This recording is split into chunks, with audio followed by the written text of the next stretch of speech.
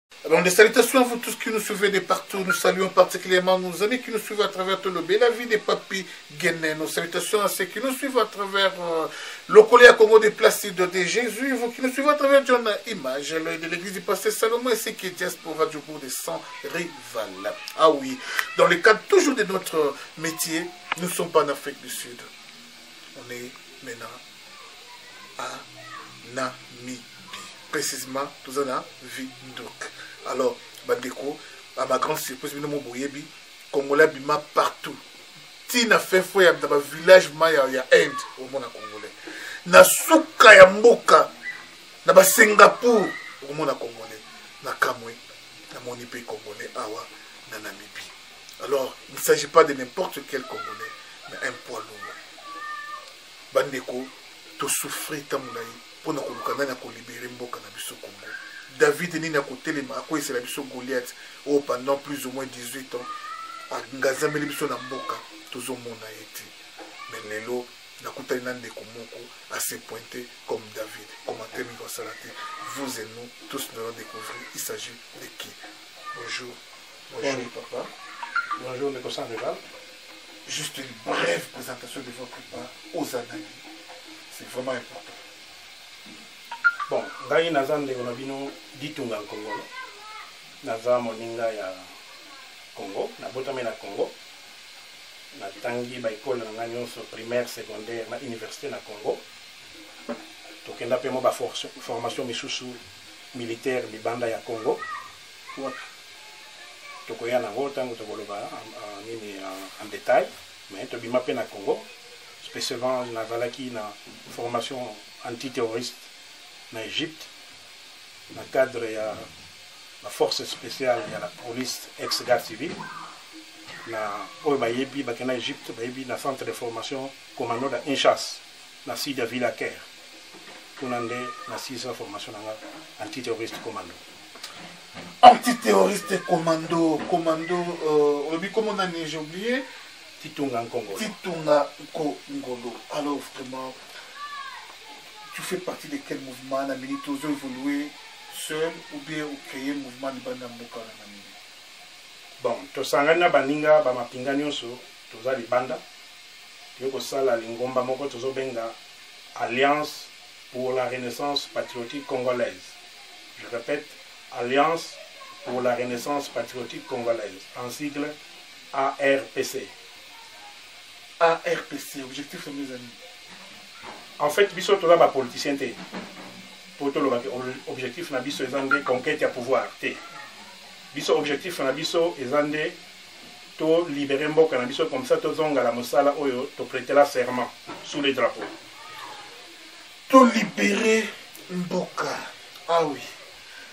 ekomi lokola retour à jésus à quand cette libération tozeli yango trop bato balembi bato babaye mpe ebele bazelaki yango bakufi kufi baroxi cimanga na bayeku toyebi mpe te bakufi ebele libération yango papa mokolo nini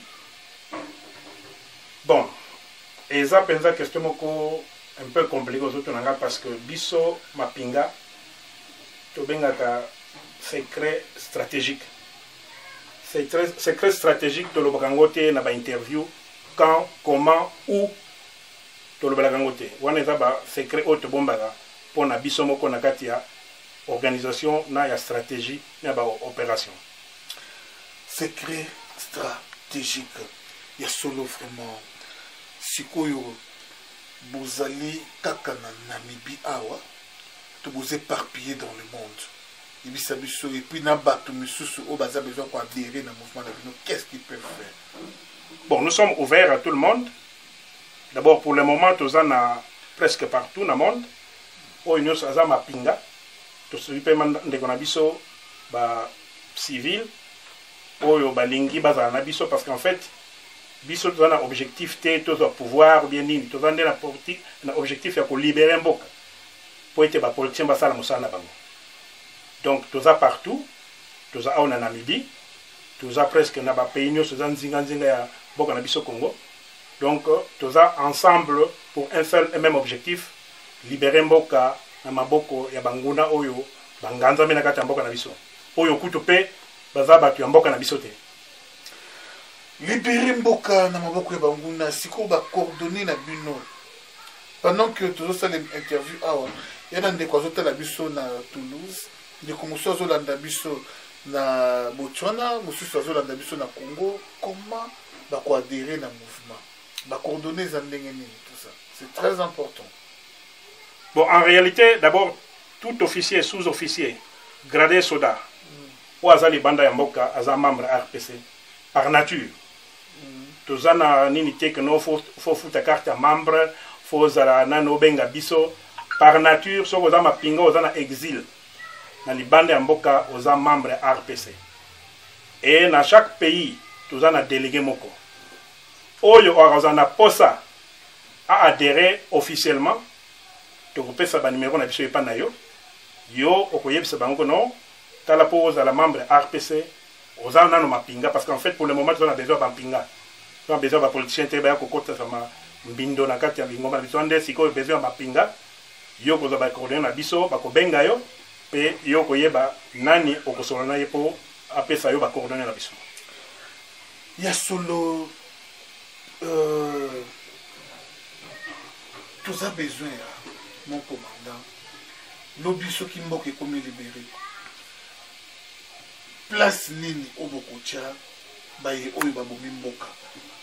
bato ya mampinga lokola bino natangi numbi natangi tango fort natangi ba tous ces gens pour ne pas citer bisengimane parce qu'il n'est pas congolais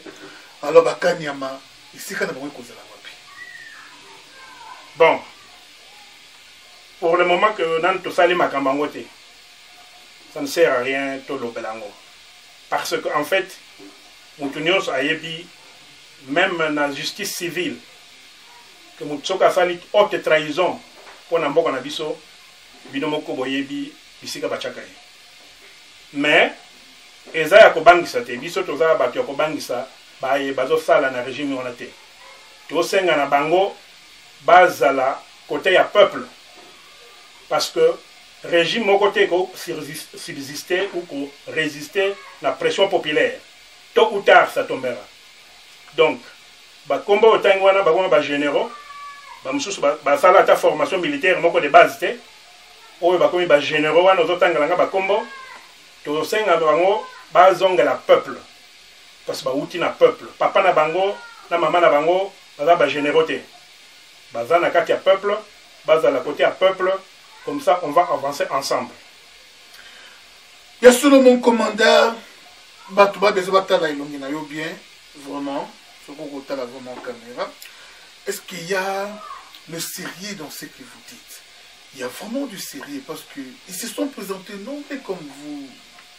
Il y a beaucoup de gens. Alors, le,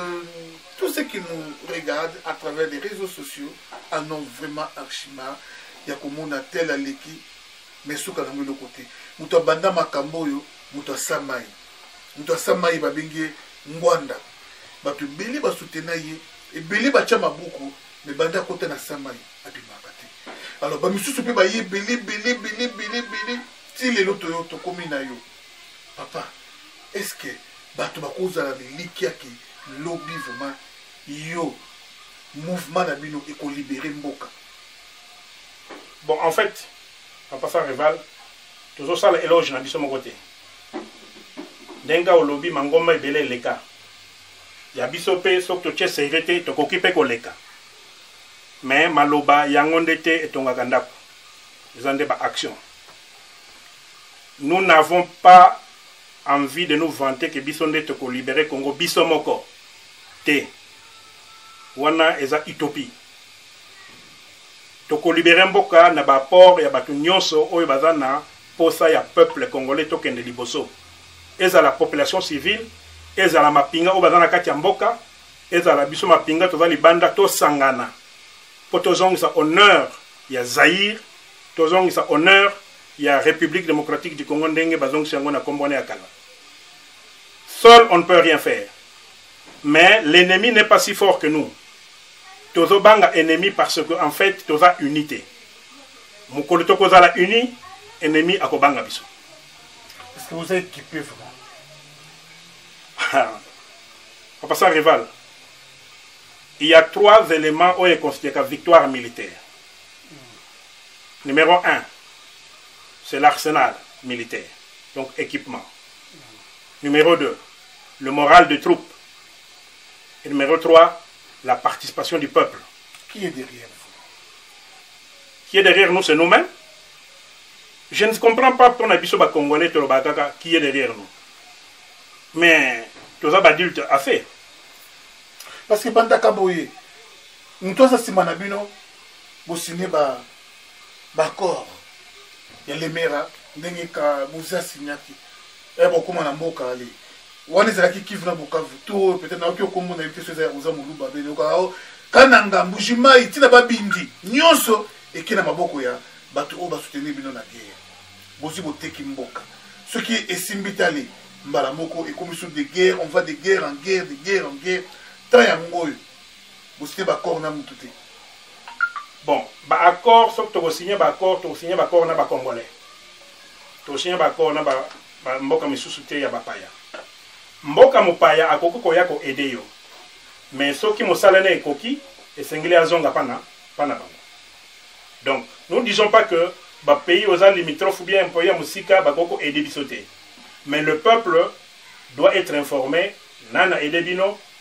Et soki mission ya ko aider na bango esili, bazonga pa na mboka na bango, bopesi bango lifuta na bango, bakozonga. Mais ezala susu te ndenge ezalaki AFDL, qu'après liberation banganzami ti baye ko longola moto oyo esengeli akamba bango, wana babengi lisusu yango ya haute trahison. Moto a aider bino, bobalukili ye, bobomi ye,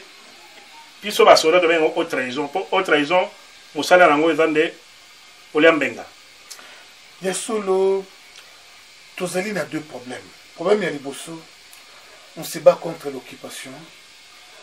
oyo toza nango na mboka boyebi très bien deuxième problème ezali la même gestion le pays n'est pas bien géré parce qu'il y a deux choses que les gens ignorent gestion eza malamu te mpaya mpe akoya na ye akambi mpe mboka malamu abongisi ne mpe mboka nde tomoni eduardo santos aza ne d'origine angolaise te mais quand même ata ya mokie asalaki na angola mais kuna tomoni un mopaya nde agere mboka malamu te toke na problème ya gestion ya mboka bato babandi na kobebisa mboka eza bino mampinga lelo oyo vous faites des leçons na bato misusu ke non bo libere mboka tout ça mais bato babebisaki mboka kasi bino bato ya deuxième république bamampinga ya deuxième république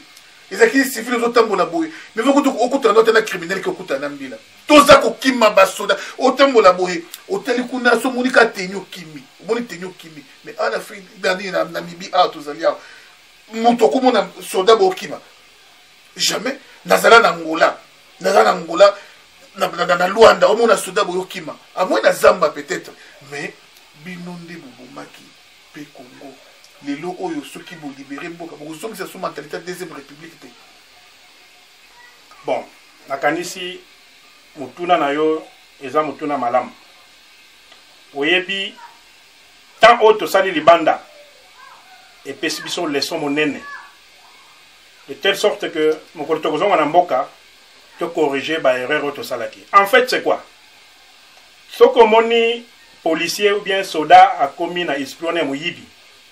elakisi ete lifuta na ye oyo azalaki nango bien aza nango ekoki te mpo abokola bana mpo atangisa bana mpo abokola mwasi asombela mwasi mwa elamba alors mpo na koevite nyonso wana na mikolo ekoya soki makambo echange Esengeli ete soda afutama. Lifuta ya soda ezala malamu. Mama ya soda azongela na kantine ya basoda kotondisa mbisi, kotondisa nyama, kotondisa soso mpo ete mwasi ya soda alia lokola mama nyonso oyo aza na kati ya site. Donc nakosenga na peuple congolais na ba generaux nionso ya deuxième république na biso nionso tozalaki ba officier supérieur bolimbisa biso na ba erreur oyo tosalaki mais heureusement que bato oyo baya nsima na biso mpe ils ont commis la même faute yango tokozala orgueilleux te mpo tolobake non tosala mabe te tosengi nde bolimbisi na peuple congolais botalela biso mbala oyo toya tosala mosala tobatela mboka mpo integrite territoriale ya mboka na biso ezonga ndenge ezalaki na kala Eh bien voilà, on s'approche petit à petit à la fin de notre tranche avec euh, le ranger commando ndenge boza komona bamoni tolanda bango mosenga na moma oyo parce que na nzela soki bamoni basi mibale bazobunda ezalaka scandale vraiment te justice asala mosala na ye ndenge esengeli me soki bamoni mwasi na mobali mobali aza kobeta mwasi makofi en tout cas baza besoin kutu basambisa te directement mobali ake prison alors oyo aza na pouvoir aza mpe moto ateni ya makasi lokola ye alobi ye ifoka babete masasi c'est-à-dire bino na bino siko bato teni ya makasi bodefendre couleur mbuta alobaka na chaka mayele na ngai nde na bino basoda mais bodecevoir biso parce que ntango mokuta ye koloba toye na confiance ya lokola mwana azomona papa na ye akobeta edingwe akobeta ndeteka akobeta mokili mobimba ndenge biso bacivil toya komona kino basoda na biso bacongolais bazaiwa lepoque je kutu te mais un petit pays lokola rwanda lelo bapays nyonso ya monde ekoma likolo na biso likolo na bino na zimbabwe bapays nyonso ya monde ematela biso zaire oyo tozalaka fiere sikoyo totye like na bino 5 ans toyebaki ke mwana ndeko azwi pouvoir aosala ata inane te basoda na biso ya mobutu babima bakweyisa ye zero bageneral nzimbi totyelaka motema bakewapi mayele kuta mikufela 20 adesistani avant bagénéral baramoto lelo oyo moto na bino ya garde civile lelo akoma na kabila papa olobi nini peuple congolais alembi abaye atyelike na bino me bosa eloko te 5 ans 10 ans eloko nini elakisi ke dans une année dans deux ans dans trois ans quatre bokolibere mboka peuple congolais alembi bon eloko ya liboso na kosenga peuple congolais alemba te alemba te ayeba ke bato mosusu oyo baza libanda na oyo baza na kati oyo bazosala na kati ya regime wana baza mpo na peuple balemba te bazala na confiance na biso mokolo kaka bakoyoka ke bato wana babandi makambo basoutenir biso tokoloba lelo te tokobanda lobi te me mokolo kaka bakoyoka ke bato wana babandi makambo basoutenir nde biso boyebi mpo na nini afdel aganya bitumba eza mpo na peuple population alembaki kondo mobutu lelo mpe ndenge nazoyebisa yo boye peuple alembi petit frère na biso wana kanambe donc Biso bato ya mapinga tozosenga na peuple akosoutenir biso ntango tokoya mpe tokolibere mboka na biso otangeli ngai bagénéraux bakufa na oyo barejoindre leki na biso bon eza choix na bango mais biso tokotika peuple na biso te atika lokola mwana etike eh bien voilà il nous reste moins de 3 minutes Juste un petit message à, aux politiciens d'abord et aux militaires ensuite. Les politiciens, vous qui me suivez en ce moment, essayez un peu de, de demander un peu les conseils à vos aînés de la Deuxième République. Ils vous diront la vie en exil, comment c'est difficile. Baramoto n'a pas pu les Kengwadondo que vous connaissez n'ont pas pu. Juste 2, 3, 4, 5 ans, ils ont désisté. mpe bakendaki bazongaki na kongo na makolo ya kanambe vi ya libanda na exile eza mpasi boshab minaku bino nyonso bozali tout autour bamova ya hippolyte kanambe vi na exile ata oza na 15 millions de dollars américain wana 30 millions de dollars américain ekosila yo na seconde ça je vous dis la vérité ekosila ya de mobutiste oyo bakoma meme ata motuka ata velo baa nango lisusu te ata velo ya pambo baa nango lisusu imagine bamobutu soki bazalaki na chance ntango bango bakimaka na ntango wana mouvement bakombatre ezalaki na mote me lelo oyo sikoyo kokasi teke soki mboka ebongi lelo bakombatre nyonso nde bazonga kongo te lelo oyo sikoyo na nzela kaka boye pa okutani na lushima a ah, niveau kobetama nayebi te soki okobatama wapi bapays nyonso bozomona soki kaka kongo lelo oyo mboka ya regime ekwei bapays nyonso bozomona bakolia bino mbongo na ndenge aje te soki taxe bafutaka yango 15 000 epai na bino ekozala 100 000 botuna bamokutisa nde nini balia balia bango mboka mbongo na afrique du sud na france na, na partout ndenge balia bango bambongo il est temps desister lâcher ce sujet rwandais botika ye vraiment message na bamilitaire be militaire nde moto akopesa yango bazolanda yo na bakanyama batango fort elvis bazolanda yo na babomi nyonso ya peuple congolais na ntango ya bamarche mosala na bango nde ya koboma olobi nini na basoda na bapolisier bazolanda yo oyo baza sur le terrain na pays bon nakanisi parmi ba officier militaire mosusu batangi otangi sikoyo elvis ozolanda nga bien toyebani ntango tozalaki na ibtp yeba toli nazalaka kopesa yo aire nyonso ntango tozalaki kotambola peuple congolais politicien congolais mboka wana eza mboka na biso tokotikela bangunia te baétranger mpo banyokola biso babotola mabele na biso babotola bwanya na biso babotola basi na biso bana na biso bakoki kotanga lisusu klase te alors ke mboka wana etonda bomengo nakosenga na bino banso baelektio oyo ezoya na ndimi te ke ekosalema ndenge bozokanisela bamessage nyonso oyo bazolekisaka o oh, je vais respecter la constitution constitution yango nini okorespecte alors que pendant 18 ans orespecte yango te okorespecte yango dans 4 mois bino moko peuple bojuge bapoliticien oyo bozolanda leki na biso wana nakanisi ere ya kotika ye yango oyo baofficier militaire les soda les gradés les officiers subalternes et supérieurs les officiers généraux na bino bandeko na biso oyo tobanda na bino mosala ya soda oyo bokomi bagénéraux mikolo oyo boyebi ntina apesi bino grade wana po pendant 18 ans bozwaki grade wana te na kotanga bakomba na bino te sinon boza na problème kuna me boyebi ngai toza bamasuwa apesi bino grade wana bagénéraux mpo ete aniokola bino kala wana baleki mosusu oyo esengeli bazala baofficier kutu subalterne te bakoma bagénéraux lelo nde amoni mposa apesa bino grade wana attention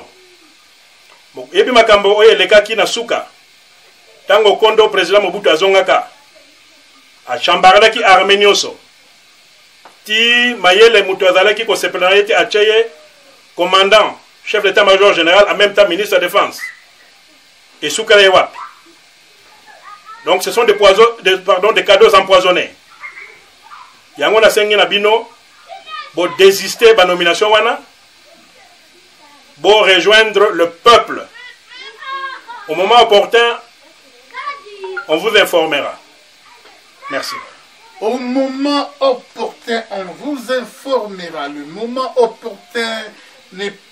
ne pouvait pas se transformer en retour de Jésus, car on, attend toujours ces moments opportuns. les peuples congolais en a ras de bol de vivre avec ces sujets rwandais au jour les jours, comme si la mort ne connaît pas son adresse. Pendant que beaucoup de gens meurent, beaucoup de gens meurent. Le métier est dit, mais Kabila,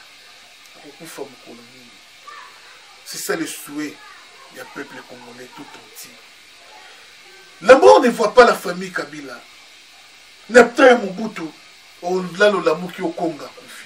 olali olamuki niwa akufi olali olamuki eleki ya mobutu telbo akufi olali olamuki mama sese akufi ah liwa emonaka fabien kabila te vraiment bandeko ya baeglise tochange forme na biso ya priere sikoyo fo totinela kabila liwa mpo eza délivrance ya peuple congolais ça je vous dis liwa ya kabila eza délivrance pour la peuple congolais réveillez-vous car c'est maintenant ou jamais alors nazopesa mot de la fin epai na commandant asadresse na bamilitaire nyonso baa na diaspora qu'est-ce qu'ils peuvent faire na temps oyo basala nini baye mpe baza na pays basala nini e atalisa biso sort oyo bareservele na baye nionso babomi mboka en commençant par bakanyama kanyama abomi trop bandeko na ngai bamarche nyonso oyo bomonamona combien de mort combien de fausse commune toki siko mpena epai ya nombi chaque jour bazoboma ntango oyo tozoloba boye baboma bato na kasai baboma bato na katanga baboma bato partout liwa ya peuple congolais ya nzizi kutu bien omoni mbwa soki obomi mbwa neti na, na bamboka oyo tozali oyo osala prison okosala prison mbwa akomi plus forte raison moto me na congo toperdre bavaleur nyonso esengeli na bomoto toperdre yango bato bakozongisa biso na valeur wana eza mpe bambila eza mpe basoda alors Na temps oyo peuple congolais akomi kotuna communauté internationale nde alongolila ye Kabila mais basoda eloko moko te bakani yango babomi bato sort na bango ekozala wapi tozobosana na bamagistrat bamagistrat oyo kabila aza konomaka nomaka oyo na baoyo ya cour constitutionnel na baoyo ya tel baoyo sort na bango ekozala nini malomola so mikufeli me ngui mulunda sort na ekozala nini parce que ngui mulunda amemi biso na malheur nyonso oyo na 2016 lelo oyo ekomi nanga mapeka boye omoni elongi lokola moto moto malamu jati ncor ntoki monene nanga moto kopoma ya solo papa oyo falo loba commandant obosanaki koloba topesi yo chance exprimez-vous bazolanda na koni nyonso ya monde merci beaucoup sans rival ngai nakosadresse mingi na ba politiciens ya Congo na mapinga oyo baza na kati ya mboka na biso bato baza libanda il n'est pas encore trop tard pour bien faire je répète il n'est pas encore trop tard pour bien faire toyoki kolela ya population na biso kobanda na beni toleki na ituri toleki na kalemi toye na kasai toleki na miabi toke na kananga bino moko boyebi histoire ba fausse commune boyebi mpe ntina kati ya kisasa histoire ba fausse commune na maluku donc tozobenga yango trop c'est trop je répète trop c'est trop levons-nous et agissons le peuple congolais, de par nature, nous ne sommes pas des criminels. ezala ntango basoda babotolaka bato biloko babomaka te nyonso wana mpo nde eza kaka mpo na nzala me bayeli biso sikoyo molimo ya koboma ya koempoisonne bandeko na biso toyoki ete bandeko na biso ebele totika sous le drapeau bakufi likolo ba empoisonnement bazoboma bango moko na moko mais le comble c'est que baoyo mpe bazoforme bango bazokontinue kaka kotrahir mpe mboka yango nasengi na bapolitisien nyonso botelema bozala bomoko surtout oyo bino batu opposition bosangana bosala face na elima wana en fait naobenga yango elima parce que en fait eza elima mpo moto oyo basala na nzoto na makila ayokaka mawa me soki yo mutu oyo oza makolo mibale na maboko mibale na motu moko ozoyoka susu mawa te wana okomi elima tosangana bino bapoliticien ya opposition na biso mapinga ya opposition parce qu'en fait toza ya opposition parce que na oyo baza na kati oyo baza mpo na peuple na biso toza libanda tozala bo bobele moto moko mpo to reprendre dignité ya peuple na biso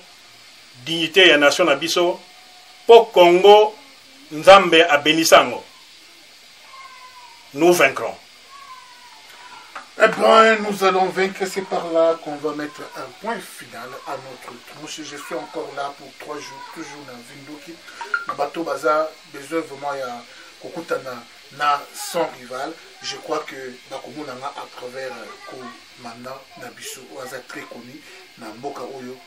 ya vinduki alors bandeko nyonso vraiment totelema mpo na mboka na biso eliezer tambwe merci na mosala kitoko ozosala mon pote vraiment coup de chapeau à lui mboka vraiment esengi soki bajournaliste lokwa eliezer tambwe bazalaki 7 8 nde makambo ebele elingaki échange vraiment na congo les gens qui appellent noir ce qui est noir blanc ce qui est blanc Coup de chapeau à Eliezer Tamboué. Merci encore une fois à vous tous qui avez prêté attention à cette tronche. Nouvelle onga na tikaki na Afrique du Sud, ezalaki nouvelle oya ndenge bakangaki sai sai, ndenge abetamaki, ndenge balalisaki na la police, vraiment sai sai alali na condition moko ya mabe, vraiment esalaki pasi mingi, sai sai ba refoulé à partir de Cape Town ba combattants basali ke ba refoulisiste ye ti azongi na Congo même sort eza réservé na baye nyonso basoutenir kanambe na badomaine nyonso soki oza musicien collabo okozwa sort wana ozali politicien okozwa sort wana soki ozali pasteur collabo okozwa be sort oyo ekoleka kutu na oyo saisai ayebi vraiment nakozwa komba na tiki na afrique du sud je kutu te bandeko na nga vraiment komba ndenge mati susu blague te alors na vinduk awa toye kolamusa vraiment bacombattant wana eza branche mosusu ye aza na branche ya bamila branche ya bino moko boyebi makambo ya moto biso toya bakombata ngai na ye awa réunion extraordinaire ya bacongolais nyonso bazalaka na vinduki oyebi congolais na vinduki benga ye vraiment dimanche oyo toza vraiment na grande réunion bandeko na ngai bobenga be commandant akoyebisa bino place mpo toboyi bato ya aner oyo bazalaka partout baya koinfiltre biso na réunion bacrele sans rival difficulté moyen na bino azonga afrique du sud ezala te encore une fois merci na bino nyonso bolandi sans rival na moment oyo cédric bongata derrière la caméra merci pa commandant bazolanda yo monde entier mobimba baza besoin ya oyo yo promettre okokisa yango toboyi lobi tomono na prison lokola john chibam toboyi lobi olashe nyonso toyoka yo lisusu te toboyi lobi makambo ebele alors soki mpe eza na bamouvement mosusu nzinganzinga oyo eza besoin esadere na bino na kati ya mouvement na bino nayebi te yo kaka nde motu okopesa mwa euh, okofungola mwa porte na eloko yango coup de chapeau na bino nyonso papa nzambe azala na bino merci ingeta